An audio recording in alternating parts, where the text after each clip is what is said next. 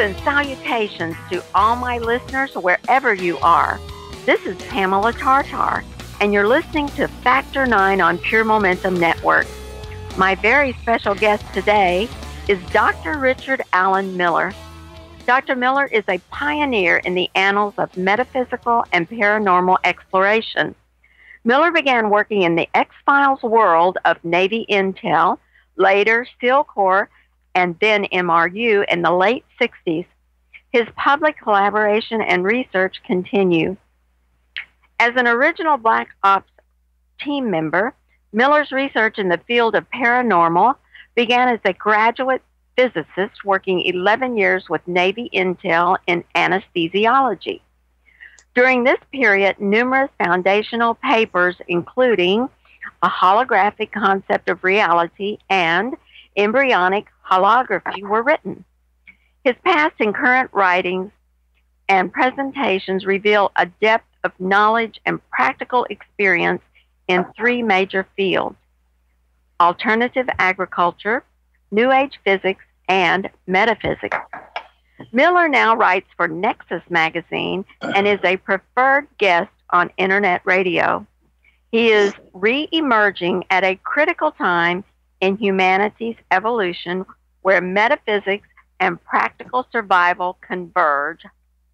Richard Alan Miller is a physicist, a biophysicist, herbalist, author, and his books can be found at oak-publishing.com. And I'll give these all of these uh, websites several times during the show. You can also follow Dr. Miller on Facebook and his website, richardalanmiller.com.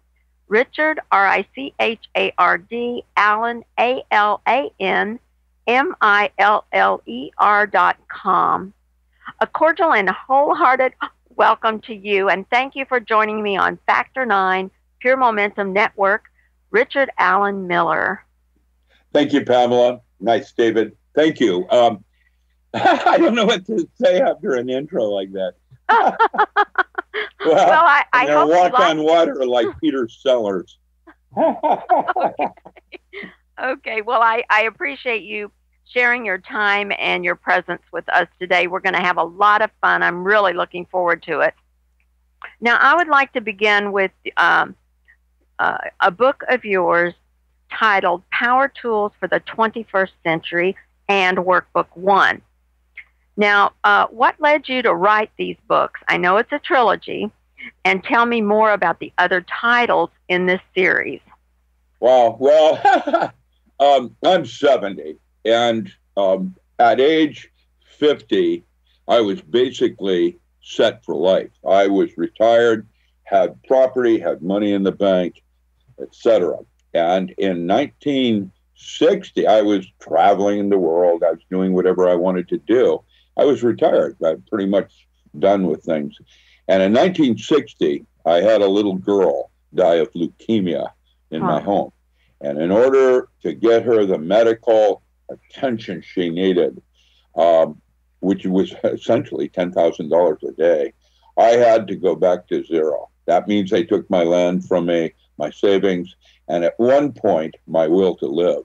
It, you know, you start medicating, uh, you're you're just totally lost. You're not supposed to lose. She died when I was 60, little uh, 59, and uh, basically was 15 and a half years old. She got ill when she was 12. So there was like almost three years of no hope.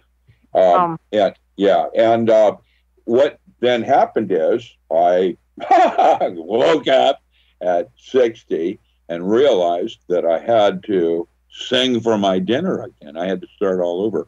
And so I started writing books. This last year, I came out with four titles.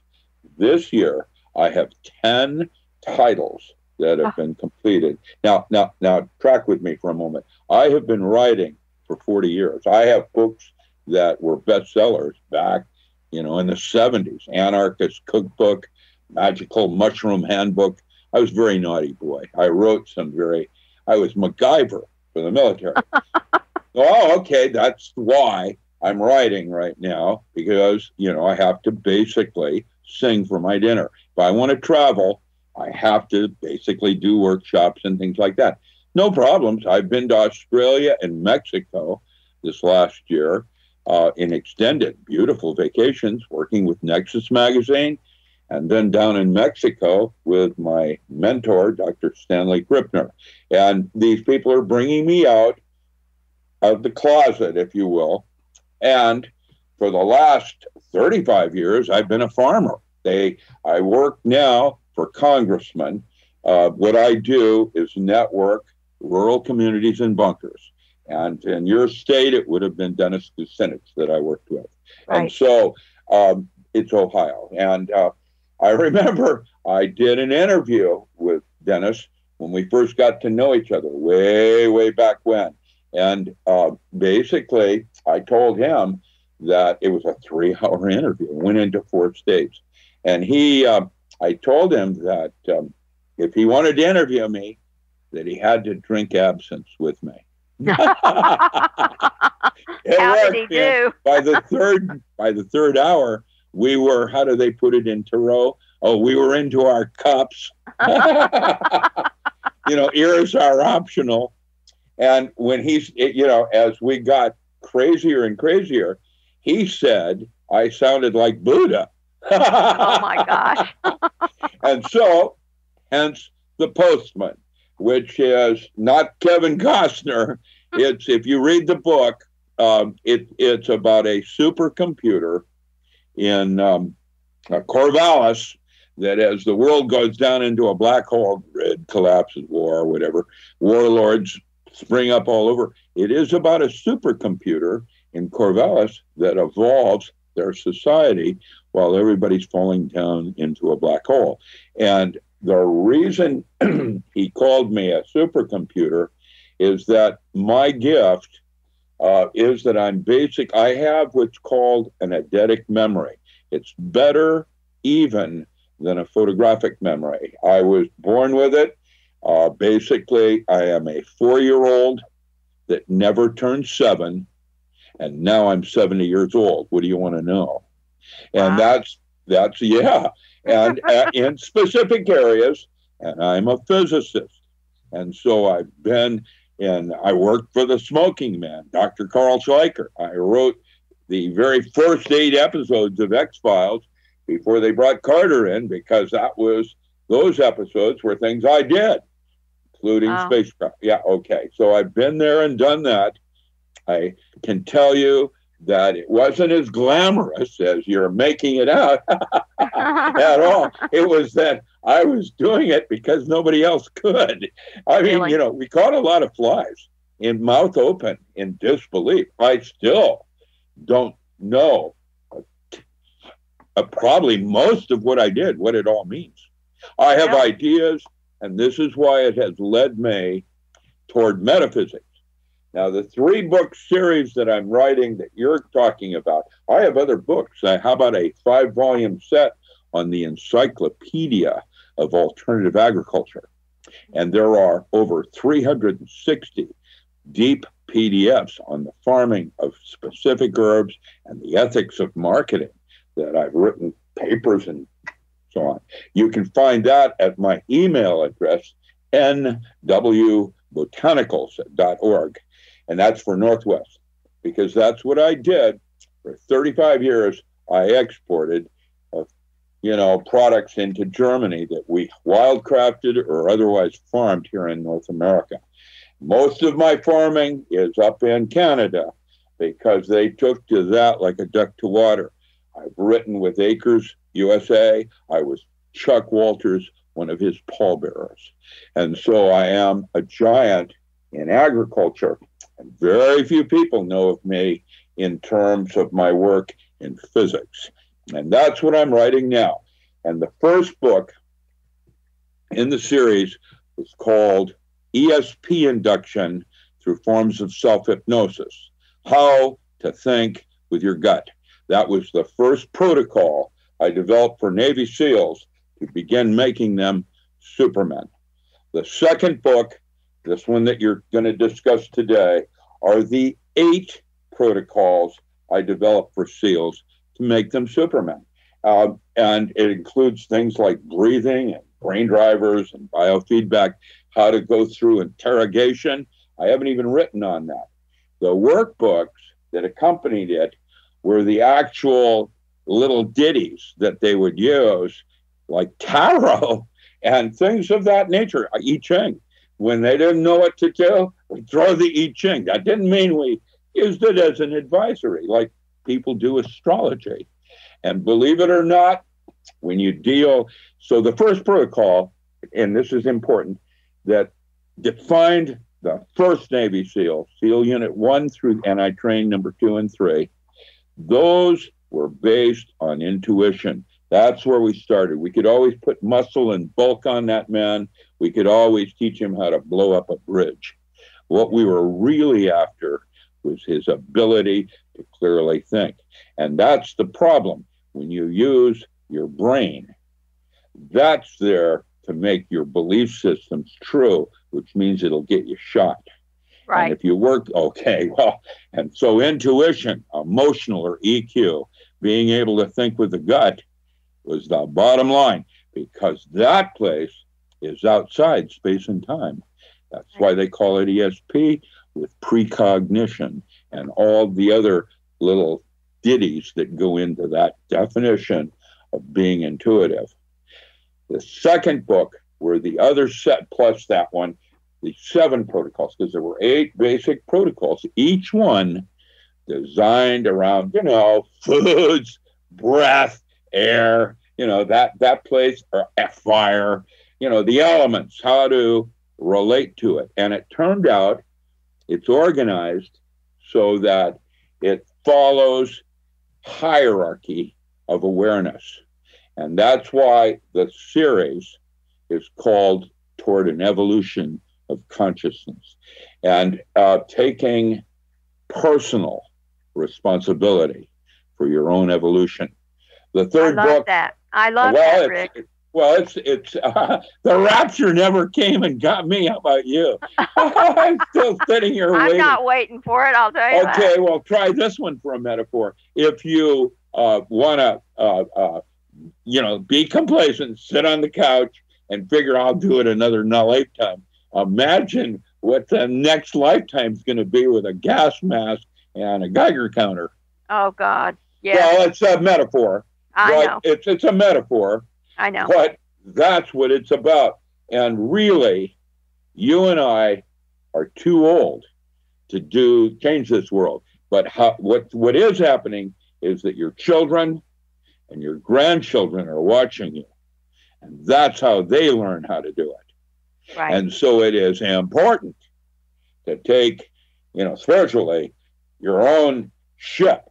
You know, what's actually happened in this world, and I haven't said this much, but it's truth, is that somehow religions have somehow created an emissary to speak to God on your behalf. How does that work? yeah. And when I, when I, you know, that's not the way it works, you No. know, because each of us is different. right. It doesn't mean there are different gods, but that part is your insecurity of not knowing if you're really on the right track or not. So the more people you can drag along with you gives you, I well, I mean, Makes you that's, feel you know, let's yeah. lemmings over the cliff and I'll wait for my 27 virgins waiting for me up in heaven. and the worst part is those virgins are probably armed and dangerous waiting for me. so how's that one for an you're, image? prob- you're probably right. They are going to be armed and dangerous. Well, that's how they got there. Uh, Right. Look, um, the whole thing is nuts. And it's about distractions and losing sight yes, of what's really important. Yeah. that's right. And you know, Rick, I I talk about the word belief. Okay, right in the middle, belief is the word lie, L I E. And the reason we're so off base is because we're distracted with lies. And we're going to talk about this later as we go through the chapters. But if you don't deal with your belief systems and get rid of them and surpass them, you will end up living your whole life out of lies. I uh, might add that rather than getting rid of them like ego, ego is not something you want to get rid of. No. It is what makes you lonely and separate from me. And basically, beliefs are the same things. You don't want to get rid of them, they're tools. And when the tool isn't appropriate, you put it in in a drawer like Jesus Christ and you fold it up. You know, like that'd be if you were going into Iraq as a staunch Christian, that belief thing will get you killed. Yeah. And so, what I'm going to suggest next is I have a pair of bell bottom pants. I'm never going to fit in again. Oh, But do you think I'm going to throw those jeans away? no way. Well, there you go. Now you're getting the metaphor. That Yeah. Just because you put it aside, it doesn't mean you get rid of it. It might be a favorite uh, belief thing, uh, something that you cling to, like you want to believe that. Um, realize that that part is about intentionality. It is. That's yes. where you structure the universe because imagination is reality. And so you have to be very mindful on the thoughts you choose to entertain. That's right. Because they're creations. It doesn't matter where they came from you or they came from Sam, Right. you know, son of Sam or whatever, you know, someone out there stalking you, yeah, whatever. Uh, Right. That is, it doesn't matter. You, Right. uh, that's why saints in history have all said training the mind is essential. That's what meditation is about. Right. Stilling it and making it your tool, not a driver. Right. Right. Instead of a weapon, it can be a tool. Right. Well, it's uh, it. You know, I want to be. I don't want my message to be uh, deterred because of my beliefs. I want to use my my limitations as uh, tools that actually make me unique. That's the ego part of your. That's where belief and ego have a have a nexus. It's what also separates you from me. Mhm. And when you start to look at the bigger picture of it, do what thou wilt shall be the whole of the law. Love is the law. Love Yeah. under will. And that's the deal. There are many different kinds of love. And the first and primary ones the Greek thought about was Thelema, the love of purpose, the love of will. You're, you're why you're here. And once you do that, nuns will say nay. That is called the flow. Wow. Now, I know I gave it to you on metaphor, and so everybody that heard this will hear it differently. I'm very clever that way oh, because good. I'm. How did they say, oh, Carl Jung? What's it like to be on the shoulders of a great man? And you know, Sigmund Freud. Carl Jung looked down and said, "Well, one can see much further from up here." that's cool. I'm just kidding. But that is the metaphor of why we have memes and why we separate holographically your physical from the emotional, intellectual. The archetypal, the fourth place up, is where you and I become one. That is the collective unconscious place. And that's only halfway to God. Yeah. Yeah. Oh, I know the other half is straight up. It's impossible. Oh, Straight no, up. no. Okay. I, Uh, you need a pilot. yeah. Um, yeah. Someone I want to. I want to make sure. I want to make sure that we get that other book in the trilogy because we talked The- about ESP and Yeah. power tools, and what's the third one? Yes, the non-local mind in a holographic universe. How to change the movie. Wow. Excellent. Excellent. Well, um, And I'm going to do it with agriculture and children. It's educational reform with a paradigm shift in agriculture. Agriculture and food should not be on a monetary system. They should be like water. You select where you want to live by the food you want to eat and the water you want to drink. I say the same thing.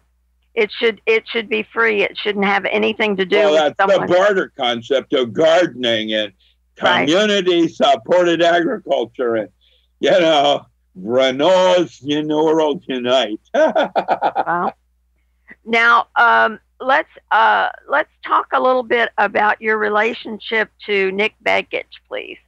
Nick is um, Nick is a reporter. He's not a scientist. Nick's okay. He is. That's basically what Nick does. He reports, and he's very good at that. And he always needed a Spock, and that was originally Patrick Flanagan.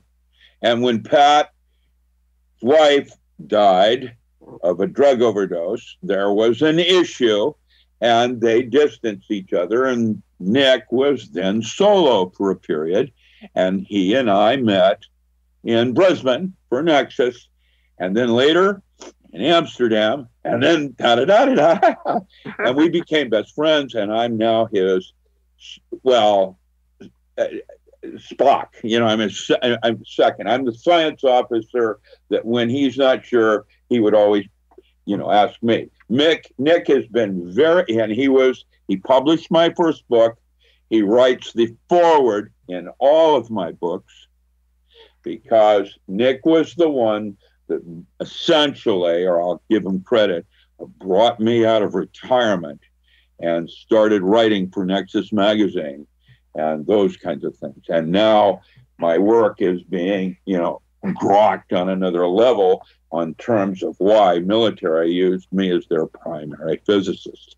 By the way, when I was in Mexico, it was interesting. I, they were I had done a two-day workshop on the first weekend, and then there during the week we were doing radio and TV promoting the big conference with you know Eben Alexander, uh, uh, Paul Shealy. You know there were some big names there, and um, this was my coming out party, and they decided to use me on this Barbara Walters like TV show. This she's the Mexico's equivalent to Barbara Walters. Will you see the armed encampment I went through to get in there? It was really, yeah. Well, all the, you know, the cartel lives back there. Of The president of. Okay, so what happened was her big burning question to me was, at the pinnacle of your career, when you essentially ran the Pentagon, why didn't you turn your back on your career and everything and walk away and become a dirt farmer. And my response so went viral in Mexico. And the president of Mexico was listening and he called the studio while we were still on the air and asked for a personal audience. And what I'm doing with him right now is a similar project I did in Chattanooga, where I have a bunch of children growing wildflowers to make salads to feed the homeless in Mexico City. I have never seen anything like Mexico City. I, I, I've seen slums and things. I've never seen anything like Mexico City. It was like an eye opener. And the, all the different neighborhoods were walled and armed encampments, basically stretching for maybe 70 miles. My word. It was, it was, I've never seen 22 million people. And uh, I've never seen anything like it. And yet, the children in the streets were happy. I saw that also, even though there's white slavery, drugs, uh, you know, violence, and all the rest, spousal abuse. That's very big. Uh, what I saw were the children were happy, and I wondered why, and started to take a closer look. And what I saw was the family was still intact. Yeah. The the mother ran the roost. Grandma was most respected, but it was the mother that ran things. And we don't even have that in the United States. And as we are becoming more like Mexico with no middle class, uh, we have the children today have no role models. The family right. has disintegrated. The schools are totally inequipped to teach them those kinds of values. And so, what you have next is social networking. And it's crazy because now the three key words that were used for Americans when I was in Mexico, the same ones that are used in Europe. These three keywords are ill informed, ignorant, and complacent. Mm-hmm. Mm-hmm. And if I don't get anything else out but that point alone, everybody's got it. It's that, yeah, well, it's time to get off the couch. You know, whether you want to or not, it's not going to happen until you do. And if you don't, you just get to come back with a gas mask next time. Yeah, right. Well, that's it. Well- just becomes a little more difficult. Right, right. Now, will you tie up exactly what it is that you're doing down in Mexico right now? Well, I've got a bunch of 4,000 children working in a huge set of gardens growing wildflowers because they love it. That that means that children are learning agriculture as a community sport. Great, great. And then they pay it forward by feeding the homeless. That's and this marvelous. is they go into the streets. They have to, you know, chaperones, and the kids walk up to people sitting in the streets and hand them food. Now that's four to nine year olds. Wow. 14 year olds i've got a plan and and basically this is a small group of children that can grow food for a large group of adults and it's non-gmo Oh, and everybody gets it Yeah. it is food choices right. it's Right. not, you know, something that came from Mexico, like an avocado, you know, Right. because on uh, here's the deal: the geoengineering has messed up our weather. We are now going to have a severe drought as a result in California. The Californian farmers are already in default and are following their land. That means there will be no produce this Right. year. Right. Okay. And that means the Teamsters, Arabs, get a bigger piece of the of the pie from delivery from Guatemala. Now, the bad news is that means you're going to have less produce at higher prices. Um, and it's going to happen now. And uh, what's next is that Putin and Russia have formed an alliance with Iran and China on the petrodollar. Yeah, I read about that. Okay, well then there it is. Page Yeah, two. There it is. And NASA just came out with a 114 slide presentation called The Future of War. And page eight says, suggests Spaceship Earth is now having riots in different places on the, on, on on control decks. They're messing with life support, and there is no owner's manual. That's the way page eight goes in NASA Oh, and we oh. go downhill from there with Kurzweil and our romance with Transcendence. My goodness. I I am this. I am the postman. I'm here to tell you there are other ways that by taking control of your belief systems and using them, that doesn't mean you get rid of them, but use them properly. And do you think charismatics is a, you know, charismatic churches, holy roller, that kind of thing?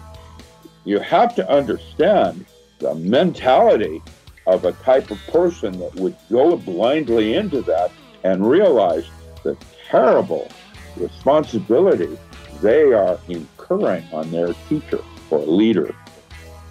Yeah. So, yeah. Wow. That's the first thing you have to realize is why are you doing this? hmm hmm Yeah.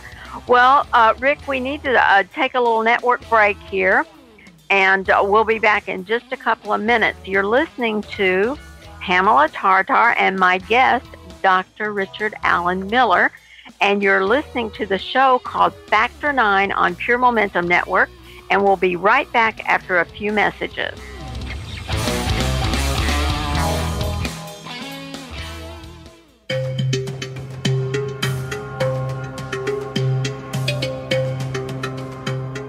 Welcome, everyone. I'm Deborah Tavares of StopTheCrime.net, and I welcome you to Stop the Crime on the Pure Momentum Network. I am committed to exposing the ongoing war being waged not only against all American people, but the entire global population by international central banking cabals and their minions. We will be talking to you about the silent weaponized systems of assaults upon the population, which will help to define what everybody knows something is terribly wrong. The corporate banking system has created the illusion that we have a legitimate government, and we do not. This corporate structure has gradually taken control of our country's economy, legal system, intelligence, military, scientific, and political operations. Only by understanding your reality will you be able to engage in solutions. And there are solutions. And we must engage. We must help others. We must live in right conduct and not be afraid. Visit us on the Pure Momentum Network and stopthecrime.net. An amount necessary or sufficient to have a significant effect or to achieve a result. This is critical mass. Greetings, fellow organic beings on planet Earth. My name is Pamela Tartar. I host Critical Mass on Pure Momentum Network. My awareness tells me humanity is reaching a tipping point. A choice must be made. Either we choose continuing under ever worsening tyranny, or we stand up in our humanity and create a new world of love, abundance, compassion, empathy, and all the human attributes and features. I invite you to join me as we explore who we are and find tools inside us, enabling us to stand tall and strong against the opposition. Now is the time. Pamela Tartar, Critical Mass.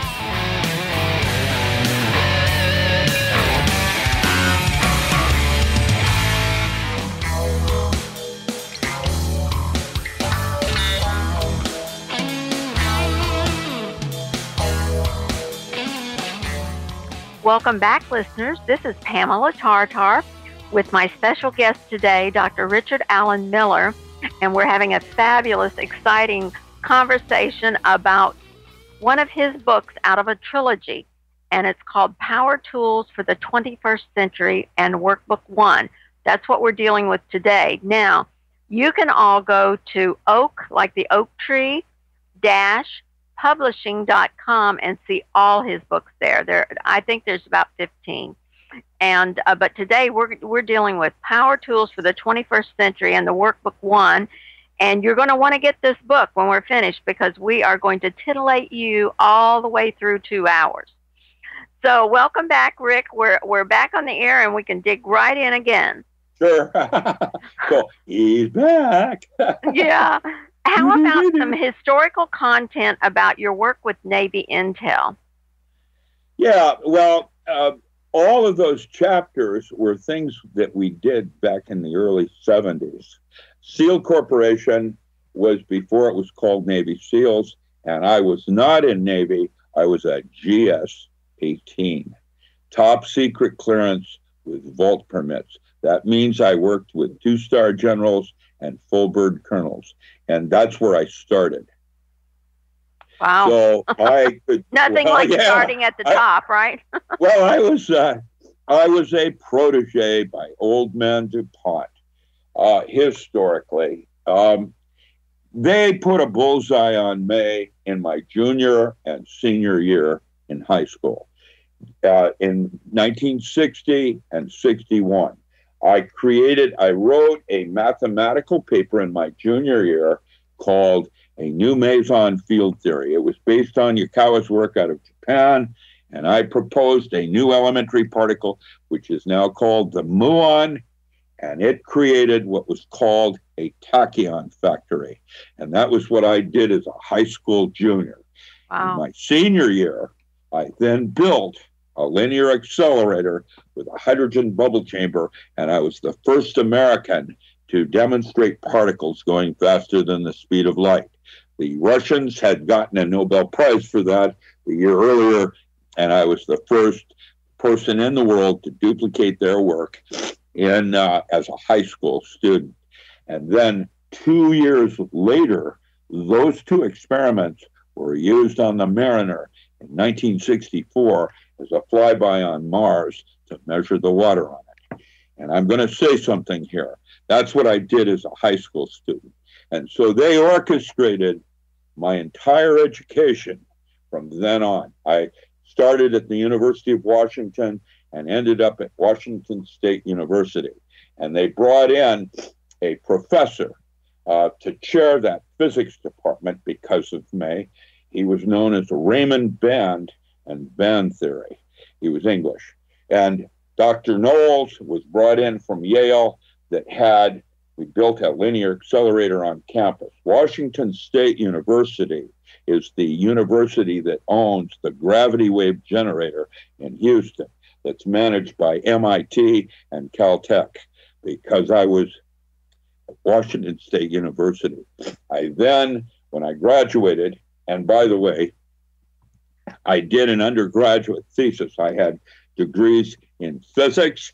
As a undergraduate, I wrote a undergraduate thesis and built a plasma jet in between my junior and senior year, which was the first plasma jet that was later used by Giannini to allow the space shuttle to go into space. Oh my and gosh. That's, that's what I did as an undergraduate. You're not even going to believe what I did in my time. I I've got a TARDIS, which I like to go for a little ride. oh, yeah.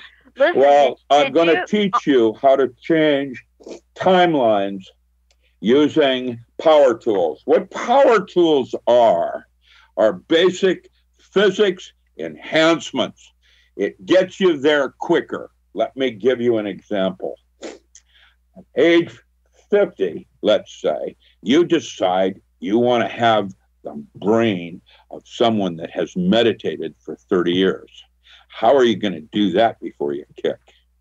Well, you could use brain drivers and get there in three years. You could use biofeedback and learn how to control heart rate, pulse, respiration, and brain waves so that you can do your own brain entrainment. You could use NLP to be able to withstand interrogation and or interrogate. and so uh, basically, like with uh, biofeedback, to learn how to control your heart rate, drop it or raise it. Um, you can do that very quickly, and then the quality of it requires you to relearn it every couple of years.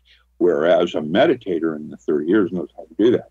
However, since I've been using biofeedback for 30 years, I'm now a, a, a city, you know, or a, uh, you know, one of these uh, side guys that does phenomena. wow. Uh, yeah, well, yeah. It, you, you start using these tools, and at some point now you've got 30 years into them, and uh, brain drivers will do brain entrainment so that you can take control of how you do memory, things of that nature. There's all kinds of things you can do with toys. Drugs work really well.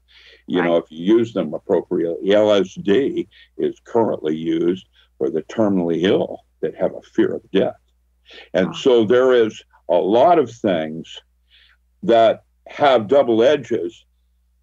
Magic is a shortcut uh, through the woods and like getting to grandma's house. And there are bid bag rules, like if you're in magic, yeah. which is an advanced form of physics with a mystery school. And basically, what you would think of as magic is next century physics. I agree with that. I've well, it's one way of time. looking. Yeah, but that's uh, we'll put a big sign like Molnar. I want to believe. so be careful, lady. I can play you six ways, and what we do is instead of poking a button, we'll play a piano and do a, a jazz concert. oh, that'll be great. I love but wouldn't that be wonderful to see yourself being poked and and and challenged and this and that as a music. And that's the level that's available to all of us is that place of joy. Yeah. And joy is like I have this thing. I used to have two cups. I've added a third cup. They're all half full of uh, yellow liquid. And the one is half full. God gave me something. The other is half empty. I've lost something. And the other, the third one, is full of piss. I won't drink it. uh, you know, it's metaphor and being able to say what's in front of you. You have that choice. That's why you are God's favored. And if we've been invaded, you know, aliens, whatever, how about in the blood types, gene four, uh, the draconian bloodlines or the bloodlines of Christ that, uh, you know, Sir Laurence Gardner and others have written about. Right. Uh, okay, that that's where I would hide is if I were an alien. So the war for the planet is going on inside each of us is a metaphor. And that's, you have choice. And so to look at it that way allows you to truly evolve as an entity. And uh, for me, I am simply giving you some footprints that I discovered for myself. Awesome. And well, they're toys, you know, physics, the leading religion of the world. Let there be light. And the physicist reached over and went click, and it was good. I like it. I like it. Well, yeah, Mikey likes it. Mikey's dead. I got to be careful here. You know, I mean, it's important to realize that the answers and the truth are not out there. That is illusion. The physical plane is where you and I've gone to be sick spiritually. Right. And once you look at it from that point of view, that everything happens for a reason and everything leads to something better, that place, that belief system, that will take you to joy. And what we call the flow, where instead of ricocheting off the wall, kicking and screaming, you find the natural track in the road with a sports car. and okay. well, it's a it's a way of being. Sure, sure, absolutely. Now, um, back I love the, the, laughter. By the way, you do it just at the right places too. By the way, well, that means you're kidding. What I'm saying. Well, I'm sitting here nodding my head, and and I know you can't see it, so I have to giggle every once in a while. I'm laughing at myself too because I am nodding my head because I do get it and I do understand. Does that mean you're dyslexic? Do you hum? no, I don't really hum. I'll let you do the humming. I do that. I'm actually rocking right now. I am a functioning savant. I, I literally, I hum to myself. Oh, man, you ought to see me in theaters. I, I get kicked by, you know. oh, really? uh, oh, yeah, yeah, yeah. I, I have to be mindful of my own uh, dragging my knuckles. Oh my thing. goodness. Well, my dream catcher has got a pair of female underwear with a beer can and a plug hanging from it. That would be my dream catcher. Redneck dream catcher. Oh my God. I'm just a guy. yeah. Okay. Well, I'm glad you're a guy. I'm a girl. Um, now, I want to get back to this uh, uh, basic tools to create a Superman. Now, in the 70s is when you discovered these, right? Well, late 60s, yes. Uh-huh. Okay. Late 60s is when I did Seal Corporation. That will be a book titled The Seal Reports, and there will be 12 chapters on that because there were 12 reports. The second book that sequels that is called Spook Central, and it's the work I did from MRU, including the Pentagon. And uh, they'll be on, uh, there's a bunch of chapters on that because I wrote a bunch of things like Kirlian photography. And then I went into bioluminescence. And then I went into a bunch of different things. We had the first artificial uh, uh, intelligent computer at the Kohoutek. Oh, yes, we had comets even back then. The Kohoutek conference in, uh, in uh, where was it? It's in Cotati or somewhere there in, in Northern California. And I tell you, uh, Santa Rosa, it was in Santa Rosa. Uh, Claremont. No, it was in Claremont. Yeah, Claremont. It was in Claremont. They have a university there. And uh, let me tell you, uh, those stories can all be found if you Google, I married the Wizard of Oz. And that was written by my ex wife, Iona, who is CIA.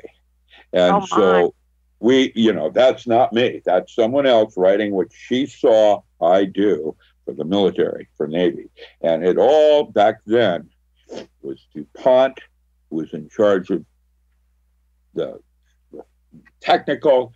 He reported to Rockefeller, and that's all changed now. I remember when Monsanto was in one of DuPont's ownership as a weapons company that made 2,4-D, Paraquat, and then Agent Orange. Yeah. And so, well, get a grip.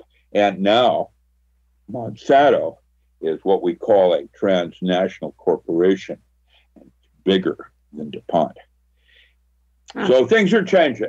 And if you wanted the big picture metaphor, you could basically say that the Illuminati is a bunch of Jesuits out of the Church of Rome uh, battling China on minimum wage. And Wow. with China, at, well, that's the way that works. Yeah. Money yeah. isn't real. Right. And so the petrodollar isn't really real. Watch what happens. It's next year now that Russia and China and Iran have hooked up in pipelines. Yep. Yep, I heard that, and I heard that um, that uh, China is actually paying in gold, and that's why they made such a big uh, a big deal in the beginning. You know, Sitchin, and that gold Dyson sphere. Give me a grip, man. Uh, these ideas were even back around when I was in the heyday. And I have to tell you, there were lots of claims being made. Secret life of plants, where you can talk to the animals. Is that true or not true, Backster? And so there were a bunch of reporters that went out and started writing about all of that and making it a modern myth.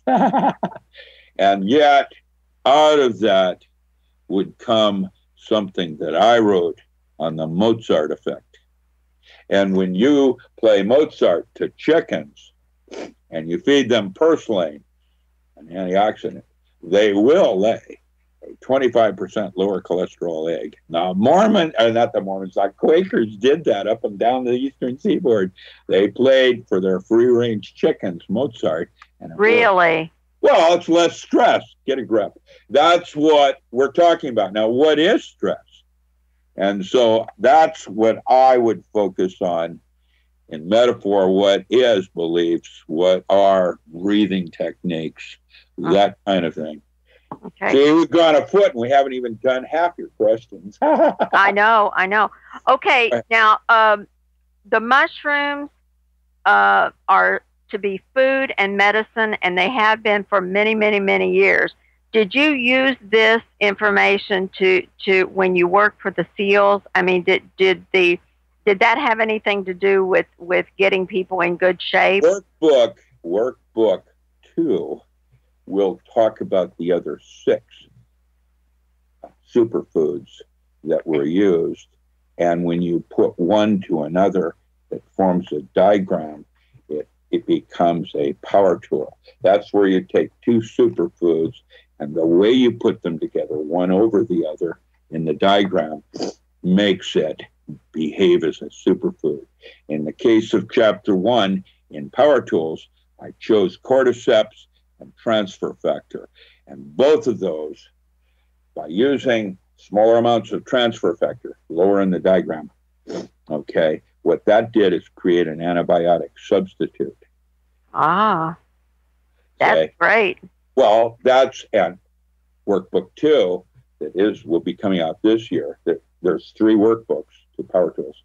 Workbook two will, for each chapter, in terms of continuous breathing and virtual audio, offer six other things dealing with air and how you put them. Yeah, and how then you do your own research in terms of one over the other as to what it'll do next for you. And that gives you like 64 permutations there. Good luck with that, Bibi. Because Oh, when you do that, now you are me. I am the walrus cuckoo chill. Okay, I could be Superwoman then, right? You can be super androgynous if you'd really like. okay. you have that choice and direction and to discover. Cool, cool. Now let's move on to um, the work you did with uh, higher self uh, in communicating with the conscious mind and how you use that as a tool.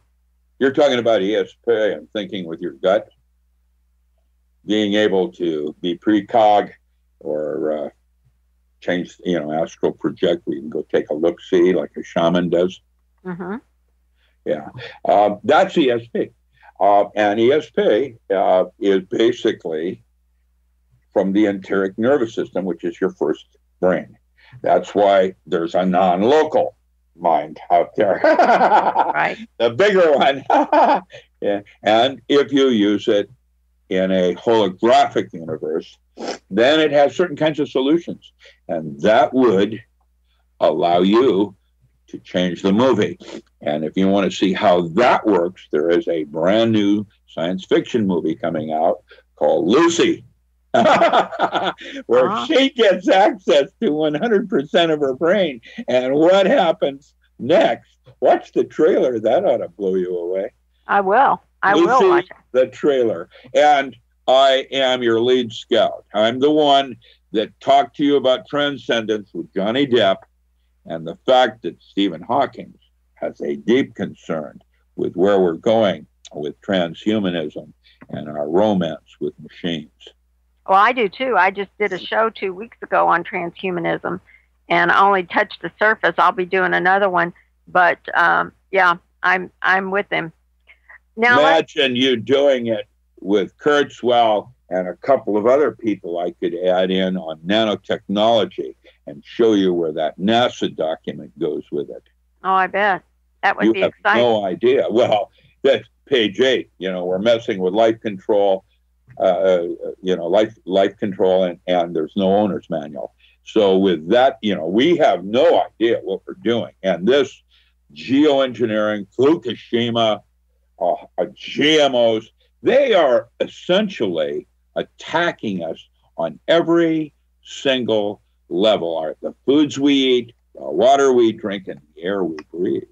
Right. And and we're also being attacked on our shelter. Uh, everything we need for life because there's never been more foreclosures and the economy is so bad that I think you can add shelter in there. We're just being attacked on every level.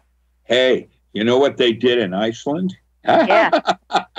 Hangthebankers.com. And what they did, 42 bankers. Right. Okay. And they, what did they do with the bank money? They gave it to the people.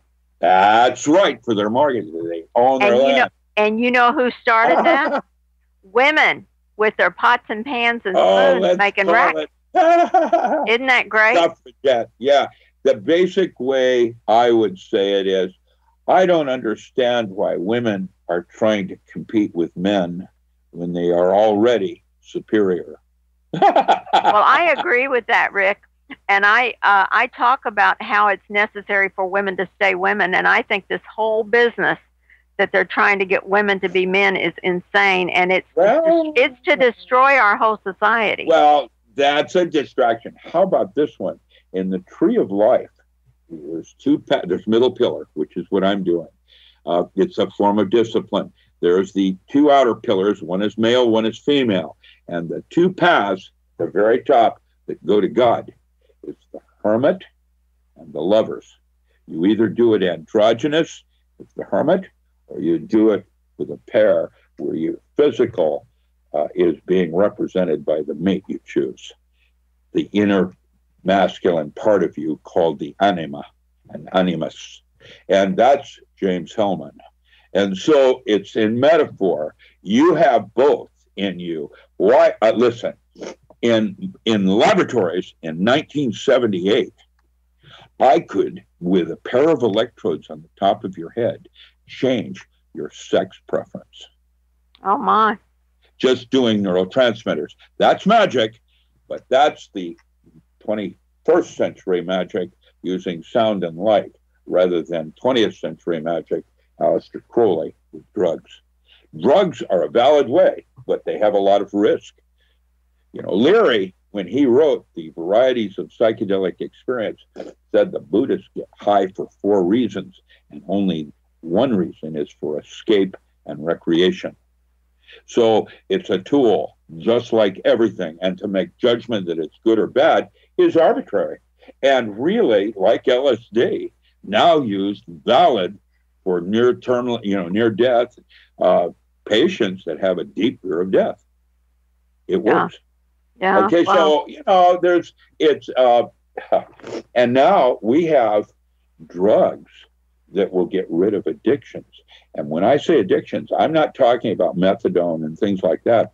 This one's called ibogaine, and it comes from the plant iboga, and it stops even spousal abuse and gambling with one use.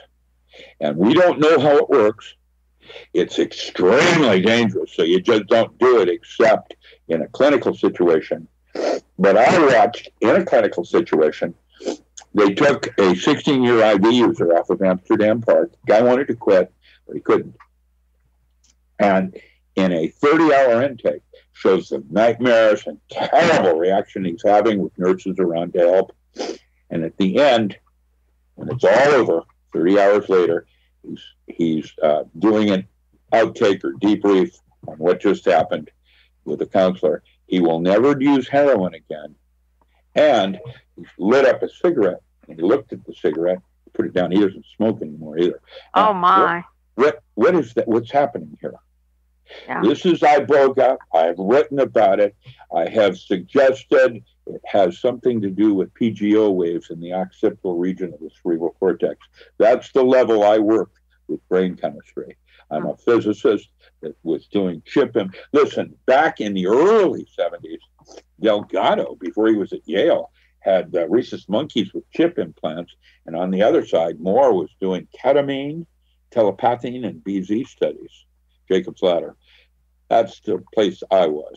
And. I did all the mind control with microwave. Now, you want to know why I left? yeah. Tell us why you left. I didn't go to graduate school to make weapons. Right. My thing, just with mind control, is Commando Solo, the first ordinance before any other ordinance is used, microwave. And so uh, I didn't go to graduate school to do that. right. so I'm uh, basically got closer to the earth. You know, there's something more going on. A farmer is like a physicist. you got to have animal husbandry and how to weld and da da da da da. You know, it's same thing. It's just what you're seeking is what we call art arc, Okay. supreme individual sovereignty, where you are basically master of your own ship. And you talk to your own God the way you want to. Right, right. Wow, that's amazing. No, I was wondering why you left, but uh, that's a good reason to me. And and getting in the earth pulls you back into a natural order that I feel is is there's just nothing better than that. And I was really excited when I read about your um, down in Chat- Chattanooga, the work you'd done. I did not know you were doing it in Mexico as well. Yeah, it's also up in BC, up on Vancouver Island. Awesome. Awesome. Yeah. Now, I would like to uh, briefly get you to tell us a little bit about uh, breath control and martial arts and Tai Chi and that sort of thing, if you could do that. Sure, sure. Um, so, sorry about that. I'm just fixing my my, my microphone a little better. Um, I studied when I, I started the, back then. I grew up in the Philippines. It was uh, my mom and dad, uh, Indochina Theater, and uh, I was four years old and I started in Buddhist missionary schools and so my first languages wasn't even English.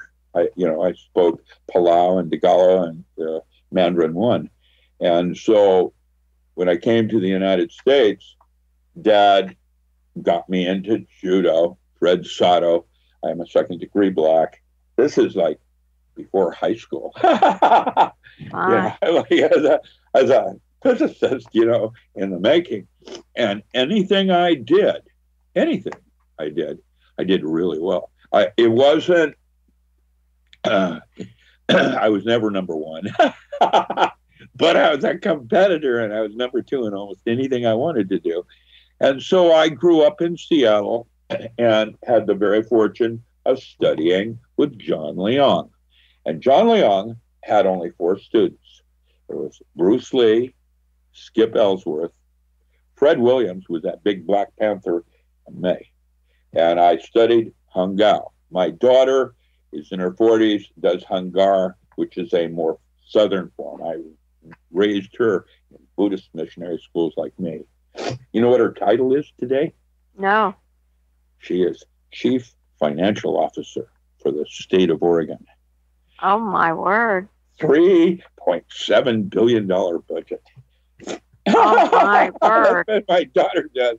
Uh, yeah, we've infiltrated the enemy. That's great. That's great. Well, I can't say anything like that, but but Daddy did um, teach us judo, and he built a judo mat out in the uh, on our property, and and he taught us to fall correctly and. Um, you do a lot of that, don't you? Pardon me. Falling. oh yeah. How to fall first. That's the way you do it. Get Yep. back up. you got to learn how to do it. But uh, that's yeah, that's exciting.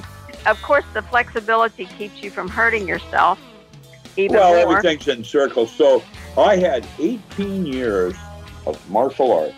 They didn't call it that at the time I was taking it. Well, it's time for us to close out this first hour, and we sure would like to have you follow us into the second hour because we've got a lot more exciting dialogue with our special guest, Dr. Richard Alan Miller. So, this is Pamela Tartar. You've been listening to Factor 9 on Pure Momentum Network. Please become a member and come into your section, the members section, as we complete this show in the second hour.